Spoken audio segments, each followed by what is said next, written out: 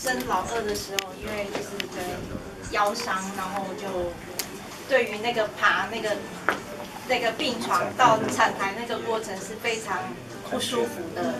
所以到生这个这一胎的时候啊，知道要在这边生，就是让我很安心。然后最起码病床不用移来移去的，让我觉得舒适上面就是舒适度上面就是整个提升很多。对，对啊，谢谢医师，就是还有谢谢院方有这个认真的产房，提供这么好的环境让产妇待产这样。谢谢。